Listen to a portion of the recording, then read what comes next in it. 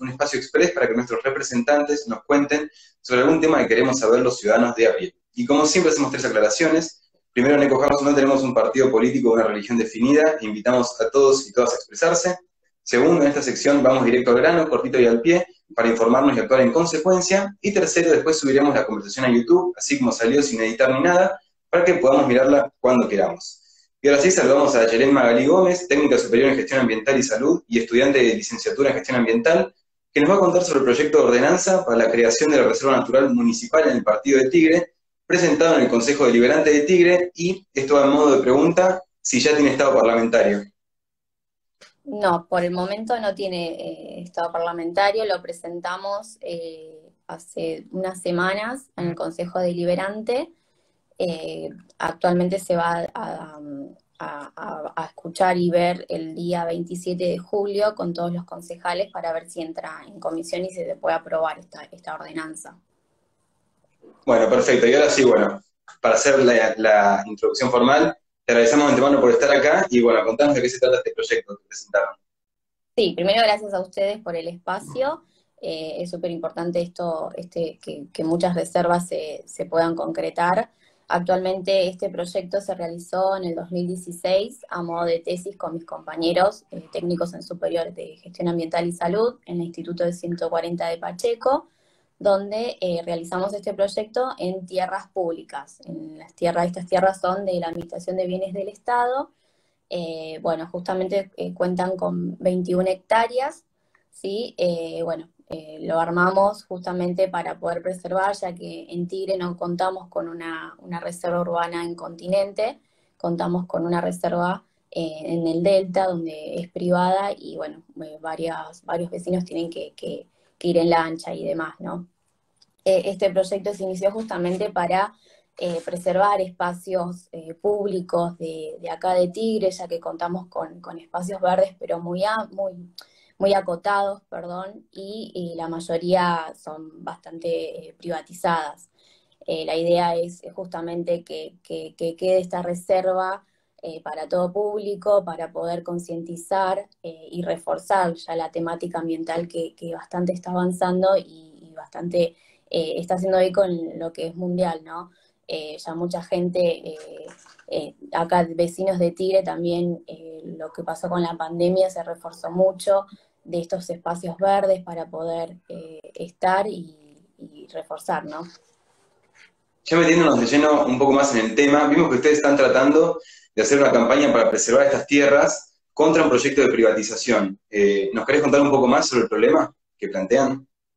Sí, actualmente en este año se presentó un proyecto donde eh, se llama el Club de Tigre, donde quieren privatizar estas 21 hectáreas.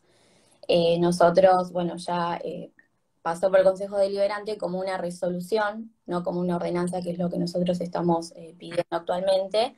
Y bueno, estamos realizando jornadas para que justamente más gente, al, ser una parte de continente donde hay, hay ríos, no, no es muy visible este lugar, pero bueno, actualmente están viniendo varias gentes donde lo están conociendo y, justamente eh, es para que se difunda más y que vean que, hay gente atrás que, quiere que se preserve y que sean públicas, ¿no? Porque estas tierras son de, la Administración de Bienes de Estado y justamente pertenecen a, todos los vecinos acá de, Tigre también. ¿Cómo fue el diálogo, si es que lo hubo, eh, con la Armada eh, respecto a las tierras, bueno, que hoy las tiene atribuidas? Sí, con la Armada no tuvimos todavía. Eh, la semana pasada eh, presentamos todos los expedientes ya que pudimos contar con el apoyo del municipio, que para nosotros eso fue fundamental, ya que esta reserva va a ser municipal. Ellos presentaron todos los expedientes, bueno, todos los archivos y documentación al AVE la semana pasada y bueno, actualmente estamos esperando alguna reunión con ellos para poder eh, concretarle y mostrarle esto, estas firmas también que estamos eh, juntando con vecinos eh, para que vean que no queremos que se privaticen y que escuchen a la comunidad, ¿no? ¿Y cuál es la situación actual hoy de la biodiversidad en el predio? Sí, actualmente hicimos un relevamiento, el primer relevamiento donde sí, se cuentan muchas aves, muchas especies, mucha flora autóctona que actualmente está en extinción, como la orquídea del talar. Eh, los chicos quedaron impresionados porque justamente son, son flora que, está faltando, que, no hay, y, bueno, relevamiento de lo que hay carpinchos también que encontramos, pero sí, esto es todo el día a día, porque hay gente que, ponele, el, hace poco un, camarógrafo eh, pudo hacer eh, flora y fauna en el lugar y bueno, encontró otras especies y bueno, es, es el día a día esto. En los considerandos, el proyecto plantea que la futura creación de una reserva ayudaría a proteger un sector de la planicie de inundación del río Reconquista. ¿Cuál es la situación actual de esta cuenca y cómo ayudaría la creación de la reserva a las, digamos, contra las inundaciones? Sí, actualmente es, eh, está el, canal aliviador, que es lo que sigue del río Reconquista, donde desemboca el río Luján. Esto es como un humedal que si bien está tocado un poco con, con rellenos, pero actualmente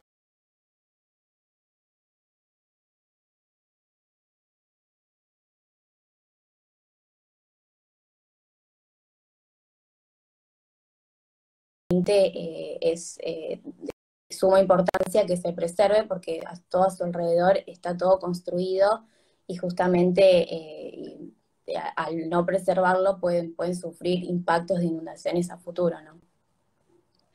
Después, en el proyecto ya de lleno, el primer artículo declara de utilidad pública municipal a la preservación de la fauna, flora, suelo y cursos de agua en los 208.000 metros cuadrados que tiene el predio.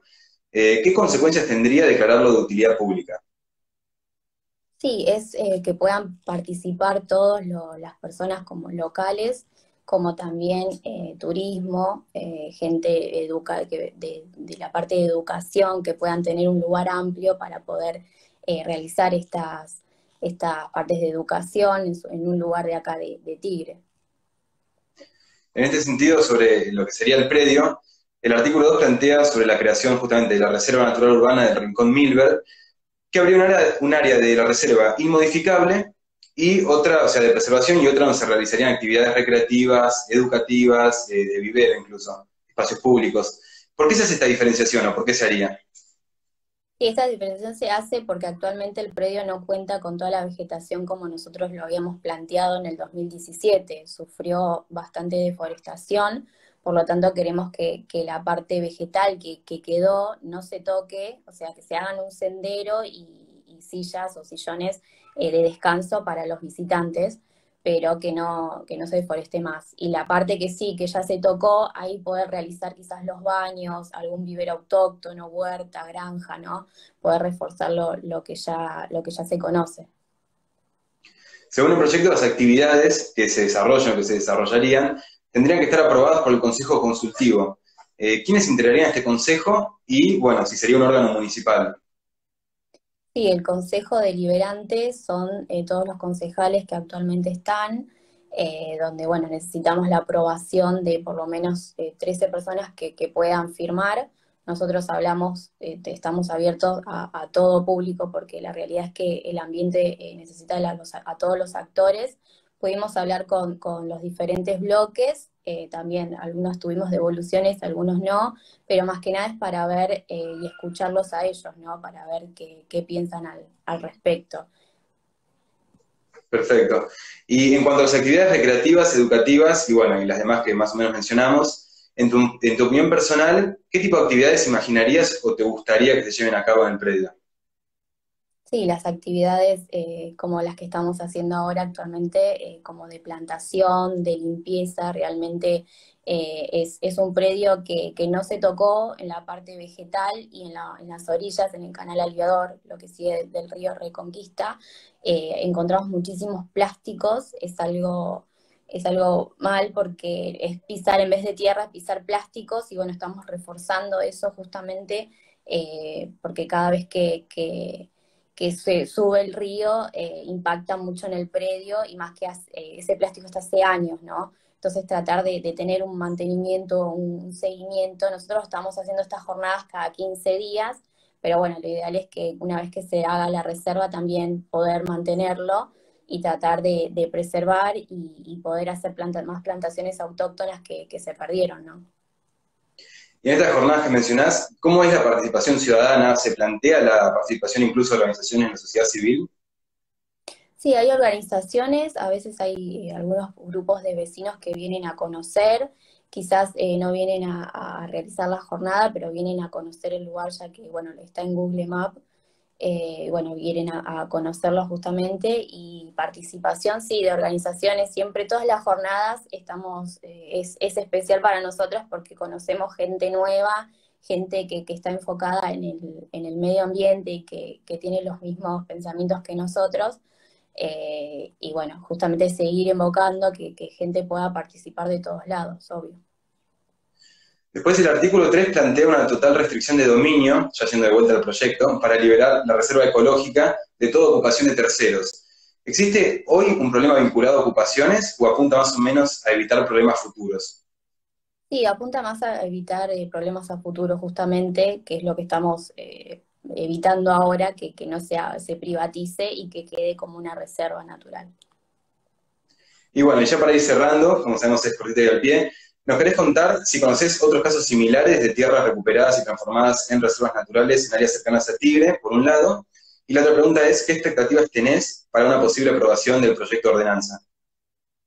Sí, eh, actualmente conocemos, eh, bueno, eh, una organización donde tuvieron este inconveniente también de, que son tierras públicas y bueno, las pudieron defender y las están, las están preservando. Eh, también contamos con ellos, es una organización donde, bueno, nos ayudan también porque esto es experiencia día a día, eh, convocar gente y la gente misma nos viene y nos ayuda porque estamos en lo mismo. Eh, así que sí, hay, varios, varias reservas. Ahora actualmente todos los municipios tratan de tener una reserva natural y preservar los espacios verdes que, van, que, que, están quedando, ¿no? Y en cuanto a la expectativa que tenés sobre la aprobación del proyecto de ordenanza? Y la expectativa es que sí, que ojalá se, se haga, que estamos ahí, eh, o sea, el día a día, el 27 vamos a estar ahí para poder escuchar a todos los concejales, escuchar su, opinión, sus sugerencias, sus recomendaciones y tratar que, se haga, que es fundamental para, para acá, para los vecinos de Tigre, para, para poder preservar esos espacios y, que lo apoyen los concejales que, realmente ellos nos representan eh, es fundamental también. Bueno, Ayelén, ya estamos sobre la hora. Eh, para quienes recién se suman, estuvimos hablando con Ayelén Magalí Gómez, técnica superior en gestión ambiental y salud y estudiante de licenciatura en gestión ambiental, que nos contó sobre el proyecto de ordenanza para la creación de la Reserva Natural Municipal en el Partido de Tigre, presentado en el Consejo Deliberante de Tigre que hará todo subido a nuestro canal de YouTube, así tal cual salió, y como saben, esta sección es cortita y al pie, así que nos vemos en la próxima, y muchas gracias a Yelén por estar acá. Gracias a ustedes, chicos. Buenas tardes. Les mandamos un abrazo muy grande. Suerte.